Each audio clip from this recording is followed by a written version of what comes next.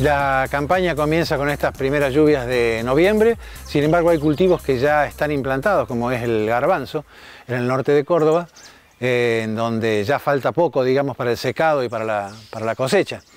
Y es una etapa en la cual hay que tomar algún tipo de previsiones.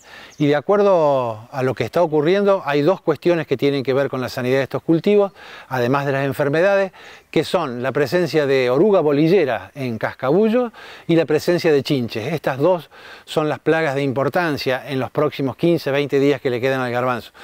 La bolillera está presente, se mete en los cascabullos y come los granos.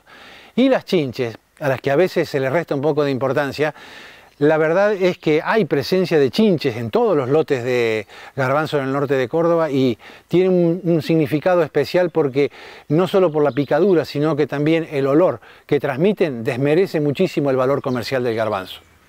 Con respecto a la bolillera, si bien eh, la siembra de soja recién ha comenzado y, y realmente va a empezar con todo a partir de esta primera semana de noviembre, eh, en las trampas que tenemos instaladas en distintas partes de la provincia de Córdoba y de Santa Fe, están marcando que en algunas localidades, ejemplo Marco Juárez, Adelia María, por ejemplo, eh, las capturas son realmente muy elevadas y en los lugares donde se ha sembrado soja, en las primeras hojas, en los primeros brotes que están germinando, ya se ven oviposiciones.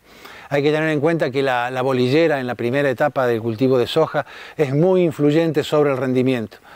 Uno piensa que la bolillera es igual en todas las etapas del cultivo, de ninguna manera. En la primera etapa es donde va a reflejarse después recién al final en los rendimientos. Entonces, la cantidad de mm, oruga bolillera que debemos admitir en las primeras etapas es mucho menor a las que se admiten luego en el cultivo ya desarrollado. Por lo tanto, el monitoreo es la herramienta más adecuada para poder prevenir este tipo de situaciones.